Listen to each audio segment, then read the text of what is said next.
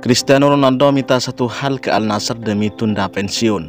Cristiano Ronaldo masih ingin terus bermain sepak bola profesional. Meski Februari 2024 mendatang usianya memasuki 39 tahun, namun dia belum mau pensiun.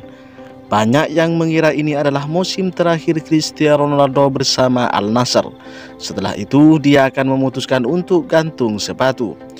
Mengutip dari Kedenakop, Ronaldo rupanya masih ingin terus melanjutkan karirnya karena ada keinginan darinya untuk tampil pada Piala Dunia 2026 yang diselenggarakan di Amerika Serikat, Kanada, dan Meksiko. Ronaldo merasa yakin masih bisa bersaing untuk masuk skuad timnas Portugal di Piala Dunia 2026 mendatang.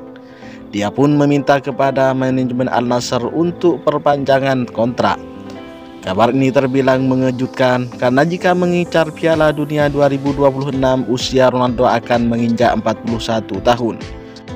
Sebagai penyerang, tentu kondisi fisik menjadi satu hal yang mesti dimaksimalkan pria berjulukan CR7 tersebut. Apalagi yang akan dihadapinya adalah back-back kelas dunia.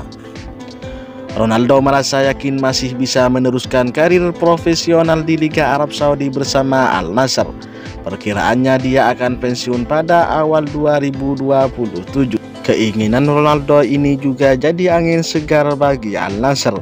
Bagaimanapun dia adalah sosok tenar di dunia dan bisa mendongkrak popularitas Liga Arab Saudi.